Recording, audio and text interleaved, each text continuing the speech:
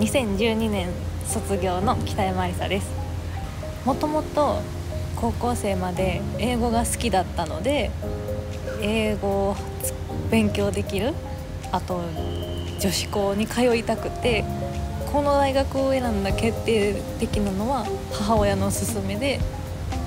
ここを選びました。団結力。一番はクラスメートとの団結力。こう周りと助け合ってこう過ごしていける感じが多くあったように思います。最初1年生の時はこの英語で学ぶっていうことになかなか慣れることが難しくて今宿題どこって言ったっけ？って言って友達とすり合わせをしたり戸惑ってた部分もたくさんあったし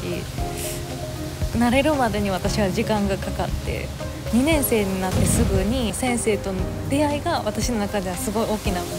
転機になってこう英語を学ぶことに対して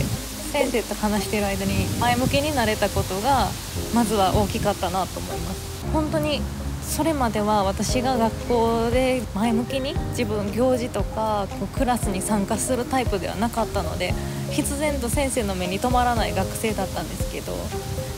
その授業をきっかけに先生が声かけてくれるようになって気にしてくれる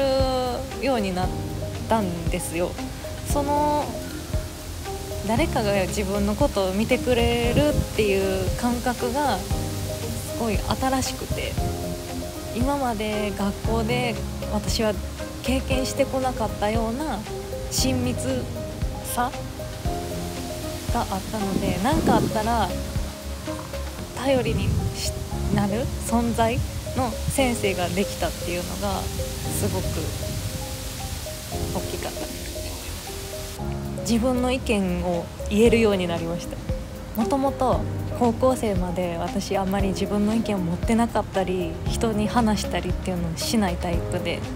どちらかというと周りに流されてついていくような感じだったんですけどこういろんな授業ディスカッションとかディベートのクラスとかそれ以外にもあの事故の発見とかいろんな授業で自分のことを言うチャンスがたくさんあってでそれを友達とシェアして人の意見を聞いたりそういう練習積み重ねがたくさんできたのでこうどうやったらっていうよりは自然と身についたかなと思います。周りそうだったっていうのもあるんですけど私自身ここで経験するしたことチャレンジしたことで